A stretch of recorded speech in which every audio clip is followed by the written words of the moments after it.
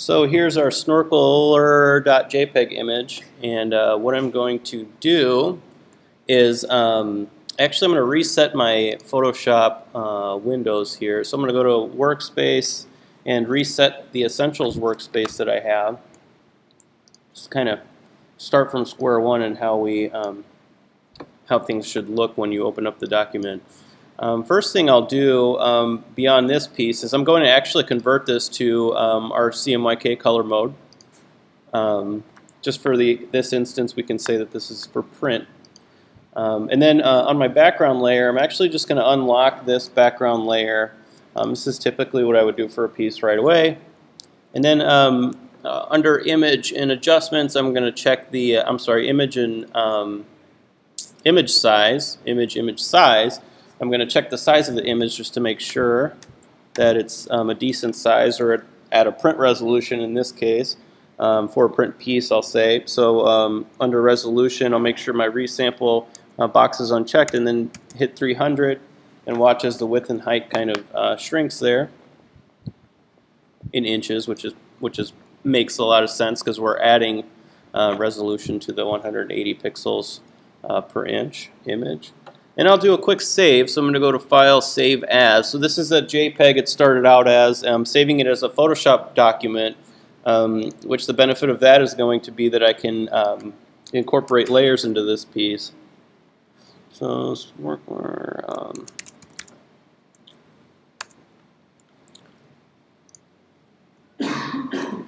All right, so uh, next thing I'll do is I'm going to get my other piece uh, image that I want to work with in this. And this is my shark image. And I'm going to go again to image um, uh, size. And I'll just change that resolution again. You'll see it gets smaller uh, in inches, width and height.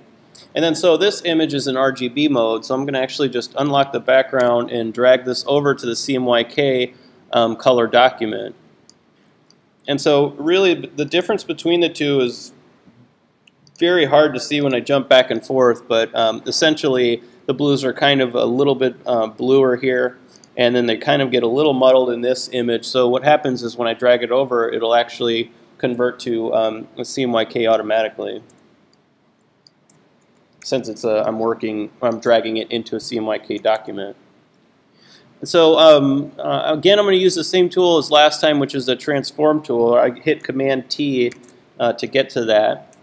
And um, uh, really, I can just kind of rotate this a little bit. My, my goal is to um, even this up with the uh, uh, uh, kind of the perspective or the angle of the um, scene in the background to kind of fit this shark in here. That's kind of where I want it to position uh, for the composition there.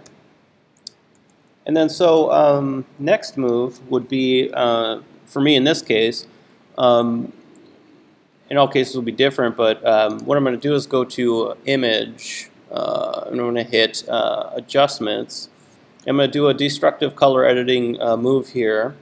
Um, this one is a selective color. And so I'm going to uh, select certain tones in this um, shark image.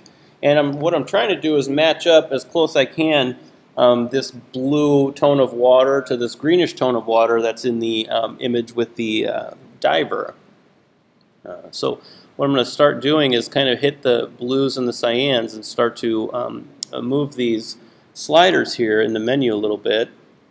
And right away I can see that I'm getting closer. Of course, I, am constantly going into this preview box and kind of checking and unchecking to see how close I am, like based on the steps that I'm taking um,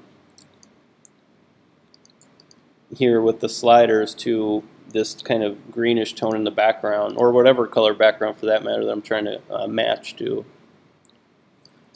Uh, so I take some uh, magenta out of the cyans in, in here. Take a little more, actually cyan out of the cyan too, and add a little more yellow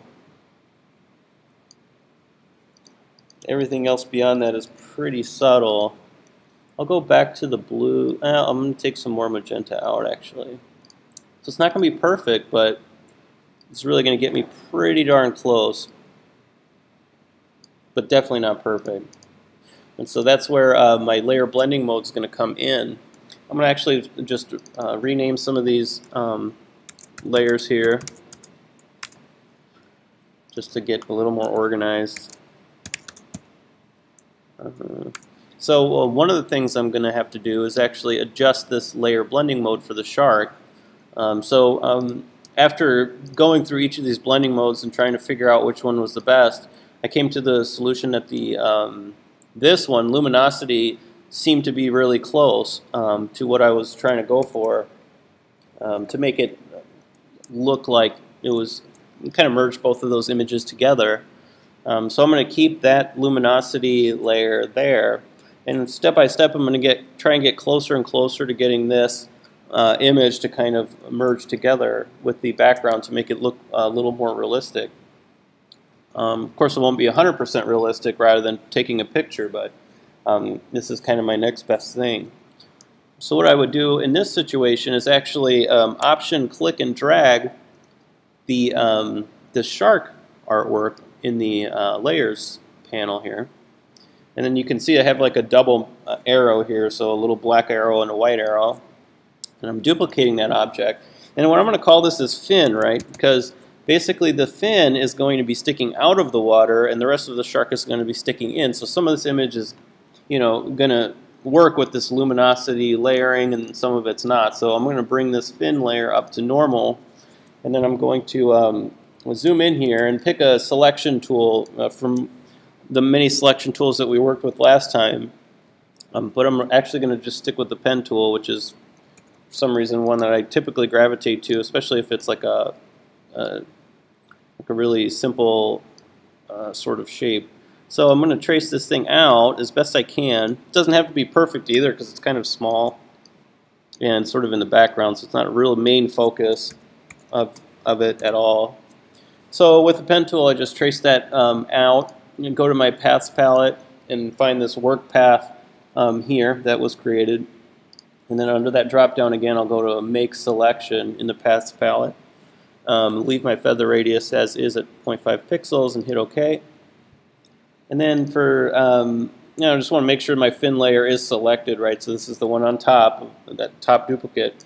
And I'm just going to go to um, select inverse or Command Shift I, and then um, just hit delete.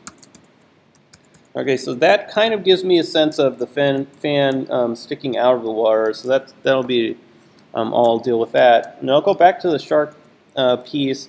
And I'm actually just going to take, um, I think, just like the eraser, and then I'm going to work around.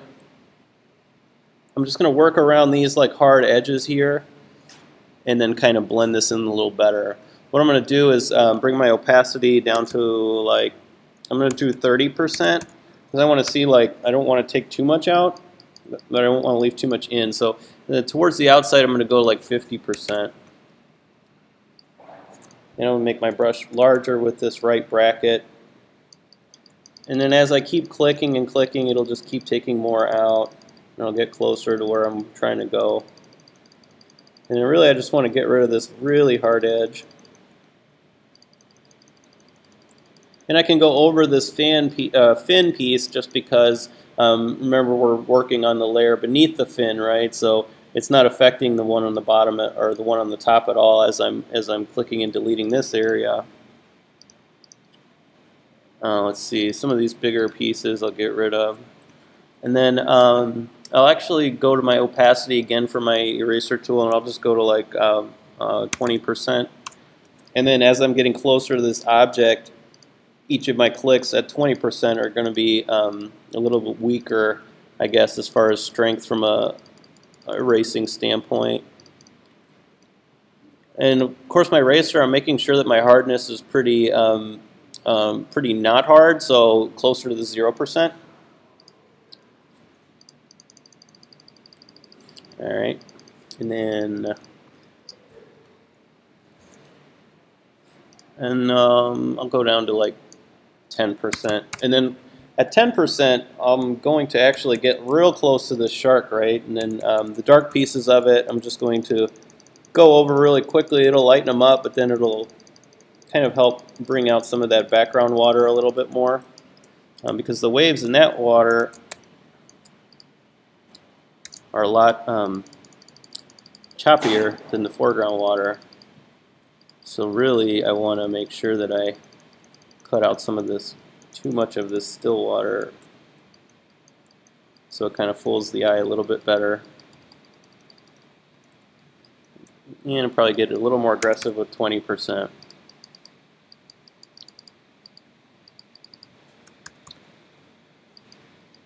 Alright, so that piece is pretty decent. Get behind that fin a little more. Um, so my next uh, part of this is what I want to do is um, uh, make this uh, shark uh, layer look like it's behind the leg. I can't really physically put it back there because that leg is essentially part of that background um, as it is. So uh, what I'm going to figure out how to do is figure out what the quickest way to select this leg is.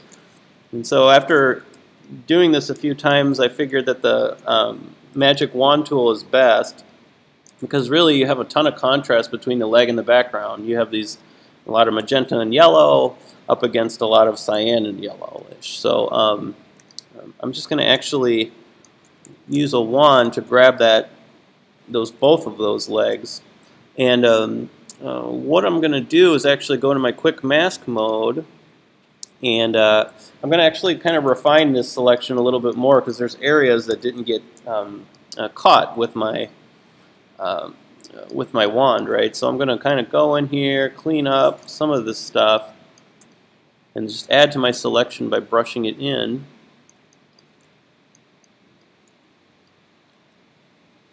Alright, so that's kind of good there.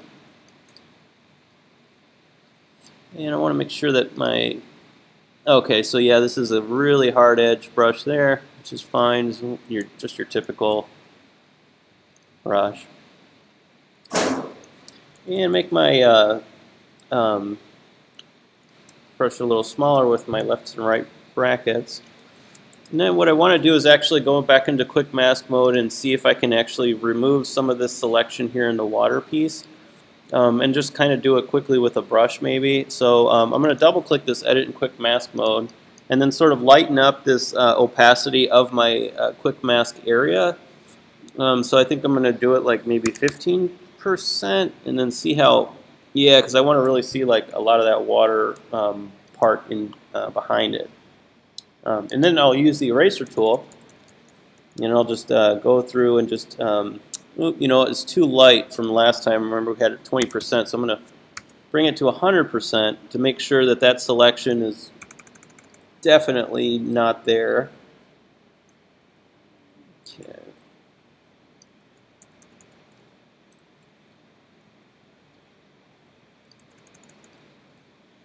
All right.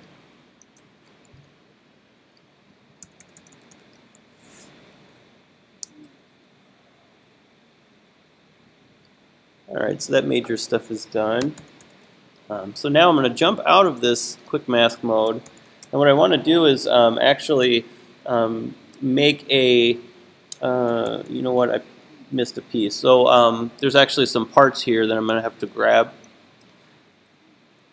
Probably want to do that. So um, I'll go, instead I'll go to my magnetic lasso and just um, add to the selection that I already started building. And by doing that, I'll just hit shift and then kind of run across the edge here and just let Photoshop finish that selection. Okay. Oop. Mm -mm. Yeah, there we go. Uh, and then just a little bit more here. All right, so um, so I don't have to really do that again. I'm just going to go into my paths palette, and I'm going to um, uh, really just hit this Create New Path button. Um, actually, in this drop down, I'm going to hit Make Work Path, and then hit OK. And so that'll that'll save that work path there, um, and then I'll just double click and then call it uh, the legs. So um, that I can select it whenever I need it. I'm going to need it a couple times. So I'm going to hit the legs again, make the selection, and then jump back to my layers, and then now I'll start kind of deleting pieces of art. So the shark, I'm going to delete that. That'll put that in the background. And then I have this leftover kind of overlapping piece, so I'm going to actually do a select inverse. And then so this is going to select everything but the leg piece. Um, and then I'm going to uh, um, just eraser tool that shark piece out and deselect. And so at this point I kind of have a good um, uh, beginning piece. And what I wanted to do now is start brushing in um, uh, some blood in the water because it really is changing the whole concept from like a kind of a peaceful image to more of like a, a shark attack image. Um, so in this part, what I'm going to do is actually go into brushes. And so um, I, let me see, I have, I'm not, I'm not like basically an expert in brushes, but here when you go into the brushes palette, you have a couple um, different types of uh, windows here. So you can actually like create your own brushes, um, and uh, it, that's kind of neat. But anyhow, um, you have all these pre-selected ones too. So like you have your generals, you have your um, dry media, and all these different selections. There's just a whole variety of them, and so um, you can actually create your own brushes. So I created this sample brush down here, and you can do this. I'm going to pull this window out you can do this kind of like by picking a starting point and uh, and then and then um, looking at this brush settings dialog box that comes up. And so um, really in this brush settings dialog box, you can select these different categories for a brush and kind of uh, change it up. So I can take an existing one and maybe change it up a little bit. So um, these sliders are really going to help uh, change up your brushes. And when you want to save them, you just hit this little save icon and it'll save this brush and you can create um, a brush library. So this one I created was called My Brushes. So um, what I'll kind of do is kind of give you a sort of a high level overview of, of some of these brush presettings. So um, size, for instance, on this brush will, um, uh, well, these, this is kind of has leaves, so I'm going to see if I can get something a little more, there we go, that's cool so like size, right? Like this will show the size of the stamping of the brush, uh, um, for lack of a better word. Um, angle, you can change um, uh, that piece of it. You can actually manually do this. I'm doing it by the um, uh, shift up and down arrows. Um, or you can just literally like drag the shape around, squeeze these pieces together um, to in, uh, increase or decrease the roundness, let's just say, of it. So it's more like an ellipse now. So this is giving me a preview of what this brush is going to look like. Um, you can uh, go to shape dynamics here, and a lot of these are just kind of going through and clicking and testing to see what you, what you like or what's uh, achieving the effect you want. Um, so I'm just kind of moving along these, pen pressure, uh, these types of things. Um, this is really good for a stylus, I think. This would be a great, um, I mean, definitely it would be better for a stylus. Um, but you know, most of you guys are illustrators too, so you'll probably be experimenting a lot with this. But let's just say um, color dynamics is an interesting one too. So I'm going to use color dynamics on the brush that I saved um, for this uh, for this uh, design. Um, but once you're done with it, you can just kind of click this icon down here for the save, and then um, uh, what you do is just name this thing um, whatever makes sense to you. So uh, I'll just call it like sample brush 2 because I don't really have a really good descriptive way of saying what that brush is. Um, of course, other people will be better at doing that. Um, and then I'll just hit OK. And then there it's going to save. And what I can uh, kind of do is like add it to an existing brush library, let's say. So here's my sample brush. Uh, and uh, here's my previous one. Um, let's see. What I maybe want to do is um, create a new folder so that little folder icon, I can create another um, uh, group of brushes, let's just say. Um, and then so as you as you like get more familiar with this and, and brushes are the way that you use Photoshop mostly, it's going to make more sense for you to create your own brush libraries and things like that that you might work with frequently to um, accommodate your style and that type of thing. Um, so uh, maybe I'll call this like the Thursday brushes. There. And then so um, this brush will just go in that. So you can kind of, you know, create your own libraries and that type of thing. All right. right. Um, so for this brush that I have, um, uh, I just created this one. And really I have um, a couple of these uh, options uh, on it. One is this color dynamics option, which is kind of interesting. It kind of changes the color um, on the uh, um, on the artboard as I'm drawing with it. So I'm going to actually use that uh, for the image of the legs. And I'm going to um, pick my color, which I think this is the color that I wanted to pick, right? Yep. All right. All right, so my color's picked, my brush is picked, and now I'm going to go into my layers, and I'm going to create a new layer. And then this is where I'm going to start brushing stuff. Um, oops, I'll delete that extra one. And so I know right off the bat um, that I want to uh, add a this in, in a particular area. So I'm going to actually hit the legs again, the legs path, and I'm going to make the selection again. So then I can isolate the area at which I'm, I'm putting this brush at. So let me see, I think I'll make it smaller. Um, I'm just brush it in. So like as I'm clicking and dragging, it's sort of changing the color from like light red to like dark red, you know, um, on here with this color dynamics option. Um, it really gives you no control hardly, but it's um, eh, it could be interesting, and, and it kind of it sort of works for what I'm doing. So I don't want it to be very scientifically like uniform throughout as far as from a color standpoint. Um, and then so um, for this layer, then I'm going to change the blending mode to multiply. So it's going to kind of blend it in a little bit better to the legs. And I'm just going to leave that there. But what I'm going to do um, next is actually create another layer. And then this is going to be the uh, red in the water. And uh, so I'm going to go to uh, image, uh, oh wait, I'm sorry, select inverse.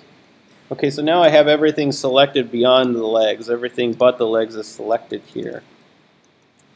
And so what I'm going to do with this is um, I'm going to keep the I'm going to keep the brush as is because I can actually, you know, you can actually go back and like remove some of these options for it. So maybe I'll keep the color uh, dynamic piece as is, and I'll go again and um, make this larger, blend some of this in the water and just see what happens. Fill it in a bit.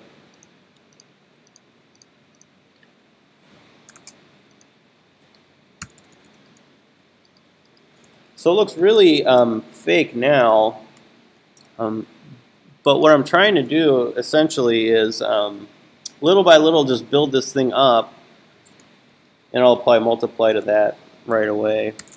Um, and I'm just going to build this little by little until you get somewhere kind of close to where I want it. So I actually option clicked this um, water, Gore water layer, and I'm going to um, rename this um, um,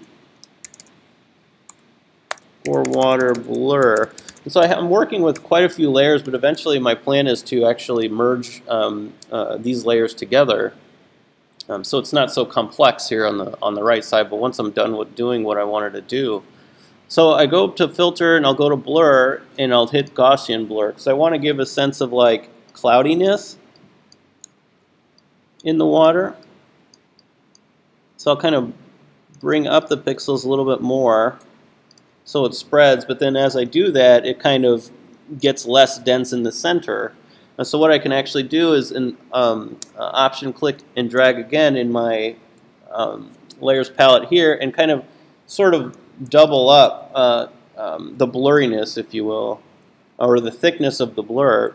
And uh, so what I'm going to do is actually, before I um, uh, merge any of these layers, I'm going to hit my eraser tool and then really subtly change the opacity to like 30% and then go and basically delete a lot of the blurriness from the outer edge and then let the blurriness um, uh, remain sort of on the inside. And I'll turn it, uh, the layers on and off to show you sort of the difference. And this is really just kind of more of an art than a science, of course. So this is just all um, experimental, essentially. And so I'm going to turn this on and off. Okay, yeah, so it's showing me Oh, it's a little hard to see for you at that angle. This is easier. So yeah, you know, it's showing you sort of a little bit more thickness happening. So that's good. That's kind of what I want um, for the blur. Um, another thing I wanted to do is actually use my uh, smudge tool. So I don't know if you've used the smudge tool, but this is helpful in, um, especially with a composition like this, to kind of make it a little more um, unperfect, I guess, if, for lack of a better word, as far as the edges of the um, uh, the uh, elements in the uh, in the brush. So let me just kind of select the smudge tool, and what I can do with this. Oh, I got to change the brush again. Why? All right. Okay, so what I can do with this is increase or decrease the strength of the smudge. So, um, and it's a very arbitrary type of a number, but um, what I really want to do is get into this um, very blurry piece of the water and sort of smudge it to make it look like it's moving around a little bit. Yeah, let's try a darker piece. Well, I'll go to this layer here to make it more obvious. It might be too much, but you can kind of click and drag and see what happens. I'll make it larger. And the more strength, the more it's going to pull, I guess, for lack of a better description. I'll do it at 55% and then see if it pulls a little bit more. Something like that. And I probably did this a little too early. Because I wanted more speckle, more speckle in there.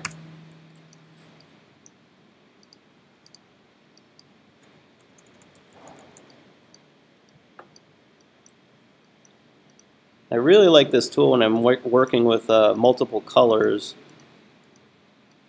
so I can blend colors together and just make things more colorful and interesting. Um, so now I'm looking at it, I'm just going to add one more layer and um, I'm going to change the brush a little bit. So I'm going to go back to that brush setting that I had saved under my brushes here. I'll click on it and I'll go to brush settings once again and um, I'm going to turn off this color dynamics um, uh, portion of it and then just under this piece then I'm going to add like more thickness here onto this new layer. Just because I see like some inconvincing blending. And then again, I'll have to hit this multiply blending mode there to kind of create the layering that I was looking for. And I'll add more as I'm working there. Uh, so Mm, yeah, that's pretty close. So um, yeah, that's that's that part. Um, so once I'm done with what I pretty much want, I'm going to actually merge these layers together. So all these kind of layers that I was experimenting with, I'm going to select them by uh, hitting shift click on all the layers that I want to select. And I'll go control click and then I'll hit merge layers. Oh, and I'll have to make sure that um, I hit the multiply blending mode. So as I merged them, the blending mode turned off. Um, otherwise, you can actually even, um, let's say for instance, you didn't want to merge those layers. Um, I'll go back a couple steps. Um, you could just as well select the layers that you want to kind of simplify, let's say, and then hit this folder icon, and then that'll just turn it into a group. And if they're a group, I can just expand this group folder and see a bunch of layers creating one group. And then I can just call this like water gore so that can be more descriptive as to what I'm actually looking at. And then you can turn that stuff on and off. And then um, my last part for the legs, I wanted to actually just smear some of that on there.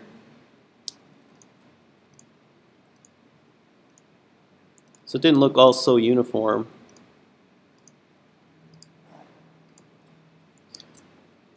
And so we, yeah, so so far we've been doing uh, destructive color editing to this whole thing. And uh, um, what I'd like to do is then, I'll add this into that folder. And uh, so what I'd like to do is do uh, show some non-destructive color editing in this image. I'm just grouping all these layers together if I can. Um, I'll, show you, I'll show you a sample of that. So um, this is just a, like a simple color correction, let's say. So if we go to um, select, let's see, I'm sorry, layer, uh, so under layer, so image adjustments is your destructive color editing and mostly all of the other, um, basically all of the other um, color editing we've been doing so far.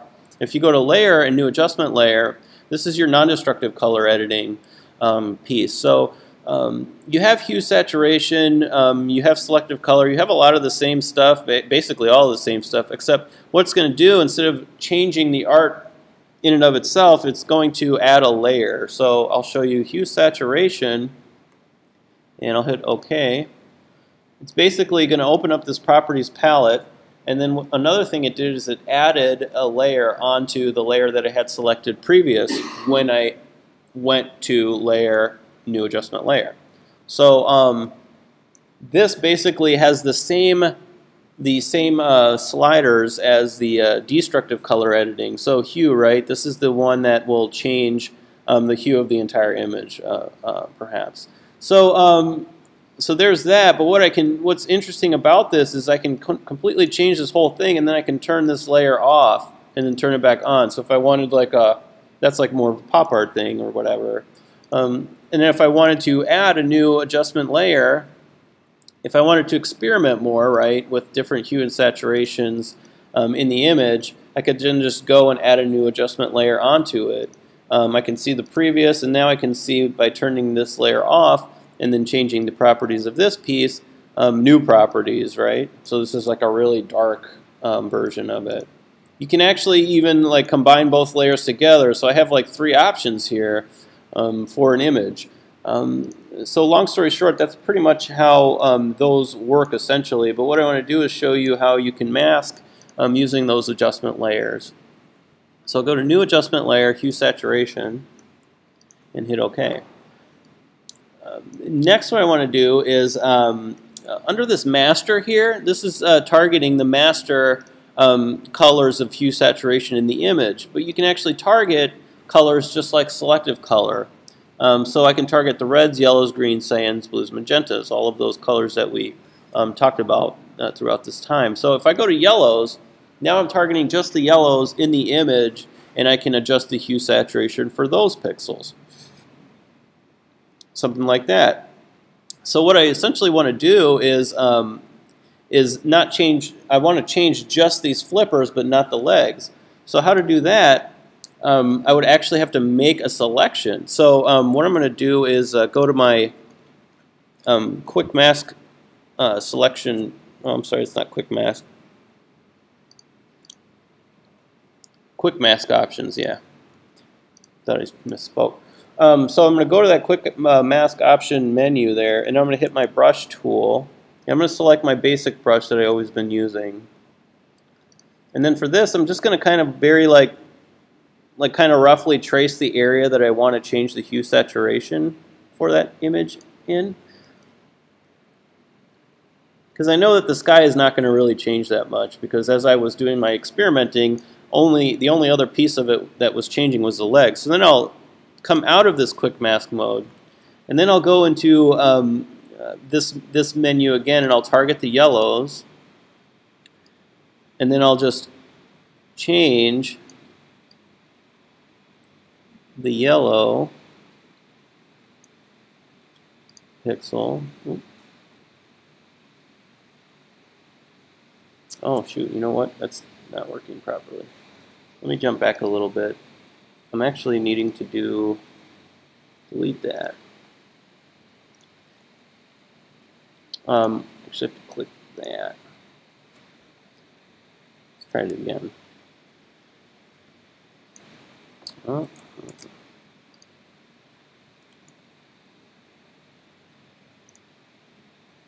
Now let me delete this layer altogether. I'm going to try to add a new layer again. Um, I have to do it actually after I created. So I created my selection first, and then I have to add my layer, new adjustment layer. Okay, yeah, that looks better. So then this area here, it's going to show the mask um, as the selection area that I made. And so I could turn it uh, on or off if I go into here and then um, uh, I'll show you that piece later. But first what I want to do is actually just go ahead and um, change this uh, color a little bit. There we go.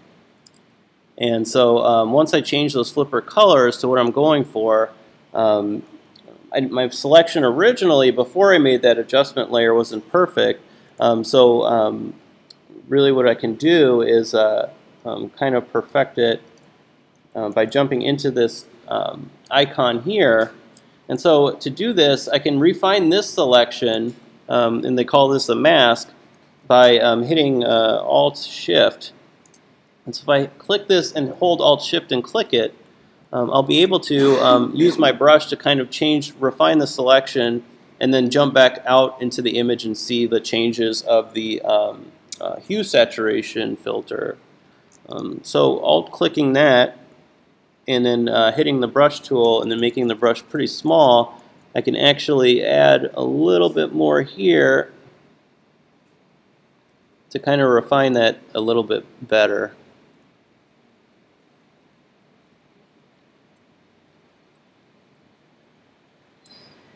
And then if I click off of it, then um, you, you'll see that it kind of took away some of that redness in that ankle part. Um, okay, so and you should be able to just, you know, um, mess around with that, but really um, what you want to do is just make that selection first and then add your layer, new adjustment layer onto it.